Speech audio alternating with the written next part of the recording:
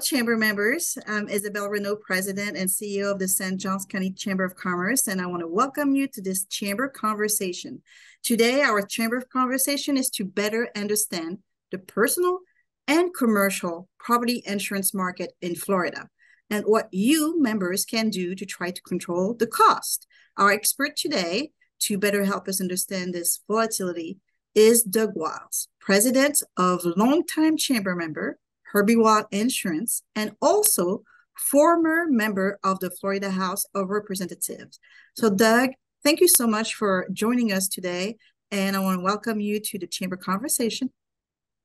Thank you, Isabelle, and it's good to be with you. I, I, hope in the next few minutes we can answer at least a few questions on a very complex matter. That's right. And and I think it's really important for the commercial property as well, since we have uh, our members own their property very often, our business members. So I'm excited about trying to provide some insight for them. So thank you. So 1st let mm-hmm. let's start because we have a lot of questions to go through. The first one is that I want to ask you. We all know that Florida is one of the trickiest insurance markets in the country, both for personal and property and commercial property insurance owners. So why is Florida so volatile? Well, the short answer to that is storms. Uh, there were 19 significant events across the United States last year alone hurricanes, fires, hail, tornadoes, freezes.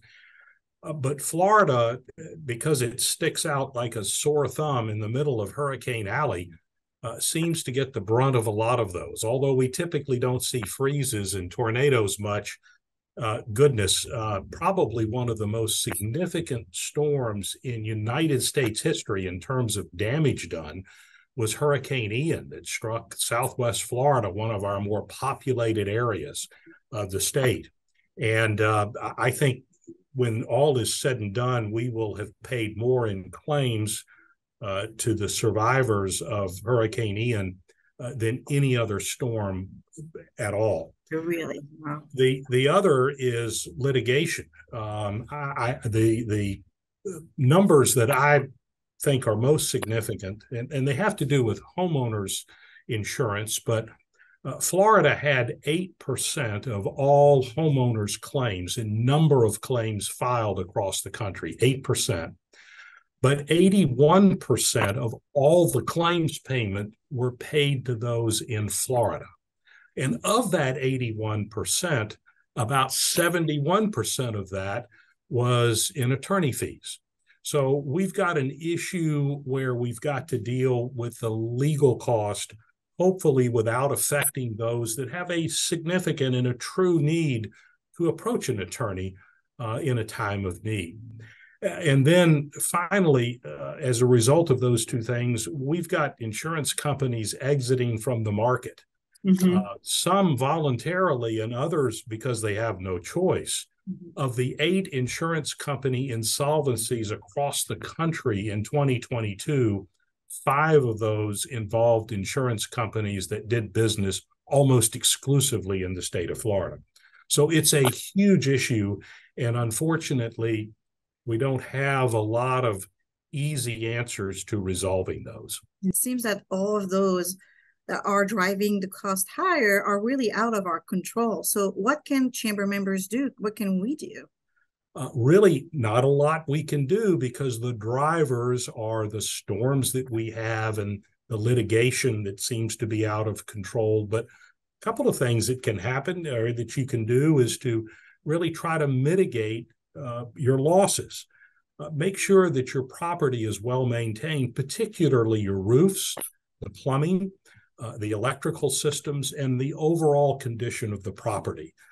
Um, some companies uh, that get larger also have a way to uh, reserve monies for future use so that you know that the roof in 10, 15, 20 years is going to need either maintenance or replacement determine what that cost might be over a period of time and set some money aside. Same with HVAC units. They're going to last seven to 10 years typically, sometimes a little more, sometimes a little less. So, you know, figure out what that is, set it aside, and catch that before it becomes a serious issue. All those are easy things to do, but goodness, with all the other issues we have, uh, finances are sometimes the hardest to do. So uh, it is a little bit of uh, of a challenge to make sure that we do the right thing. Mm-hmm. I, I, think the other thing we can talk about, Isabelle, is what happened in the special sessions for the legislature. Yes, please. Because they attempted to resolve those issues as well. Not sure that in most cases they're going to be immediately effective, but uh, there has been some effort there in terms of reducing the cost of attorneys' fees and some of the other interesting things that are going around, particularly on the homeowners market. Mm-hmm, mm-hmm.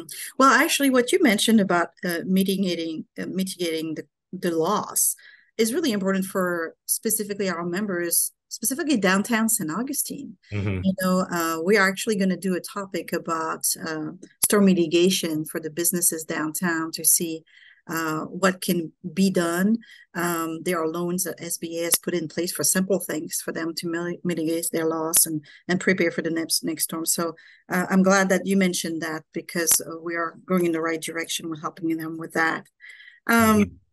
So what uh, homeowners, um, property owners um, business owners that are property owner can expect as far as the rates for the long term and short term? I, I am afraid uh, that I know the answer to that question already, but I want to ask it anyway. Let's start at the big level first. Um, uh, reinsurance, which is insurance coverage for insurance companies, um, mm-hmm. is is huge. It is a worldwide operation. Typically, when you think about Lloyd's of London, uh, the next phase that we in the business think about is reinsurance. There's a lot of companies in Bermuda, offshore, we call it. Um, but at any rate, they rely on their experience not only in Florida in the United States, but across the world. Uh, because of all of these significant events like tsunamis in the Pacific in Japan, the war in Ukraine, um, reinsurance premiums have gone up 37% or expected to do so in the coming year. Uh, and that's the largest increase since Hurricane Andrew in 30 years. So, one of the things that the legislature attempted to do was to make reinsurance um, a little more affordable by providing um, uh, some reinsurance coverage through the Hurricane Catastrophe Fund, and to do so at a lower cost than most insurance companies can get from these international reinsurance funds. And part of the, the legislature's effort was to require these insurance companies to reduce their premiums. Now, we're talking primarily about homeowners insurance because that tends to be the most volatile form we've got problems with property insurance when it comes to commercial structures. Because Florida is such a volatile area, most insurance companies, whether they insure homes or businesses for property coverage, are very much dependent on those rates and reinsurance in order to meet their financial obligations so that when you have a claim, you can file it and the insurance company has the ability to pay it.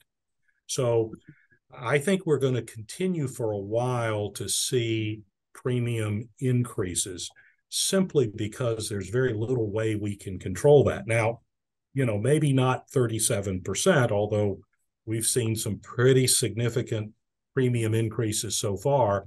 But perhaps as some insurance companies are able to take advantage of the state provided reinsurance, again, that's mostly in the homeowners lines Uh, then we may see some mitigation or or trend of of insurance premiums leveling off. I think the most startling thing is that not only Florida but around the Gulf of Mexico, Texas, Louisiana, to some extent Mississippi and Alabama, and certainly Florida have some of the highest property insurance premiums in the country as a direct result of these storms. But the other half of this is what we can do about these attorney fees mm-hmm. uh, and the cost of that. And, and that has to do with liability insurance. Um, and I think the legislature did some things to begin to crack down on that. Uh, number one, um, a few years back, the Supreme Court, through a challenge, allowed attorneys to multiply the basic fees that they charge for insurance claims by three to five times, depending on the severity of the claim. Mm-hmm. So, one thing the legislature did was pass a law uh, that would eliminate uh, fee multipliers for property insurance claims. They also eliminated an assignment of benefit cases. That's where uh, a say a roofer would approach a commercial or a homeowner and say, Your roof looks bad. Let me go up and check it. And oh, by the way, if you just sign this document, uh, I will take care of the claim for you. And then the next thing the, the roofer does is go to the attorney, and it becomes a a real opportunity to make a few bucks. It's no wonder that this was such an aggressive program by many attorneys, or some, I should say, throughout the state of Florida. And then finally, there was something called a one way attorney fee. Uh, that is that um, if uh, your insurance company lost a court case uh, or a challenge, uh, even if it was only by a dollar, the insurance companies were required to pay the attorney fees for the plaintiff. Uh, and th- they've pretty much eliminated that now with, again, some legislation. So it was all sort of in terms of this uh, attorney fees, it was all sort of couched against the insurance company and very much in favor of attorneys. And the challenge was let's figure out how to do that without affecting those that really needed to go to an attorney. Wow. Uh, as you said earlier, it's a complex uh, uh issue. Well, um, I think we've covered a lot. Is there anything else you'd like to add?